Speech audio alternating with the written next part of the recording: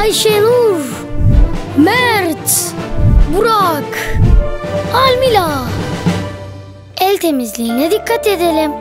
Sınıflarımızı daima havalandıralım. Anlaşılan herkes çok acıkmış. Evimde hazırlanan yiyecekleri daha çok seviyorum.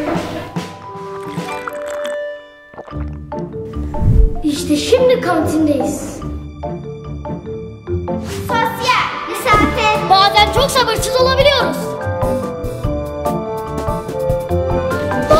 Mi demiştim?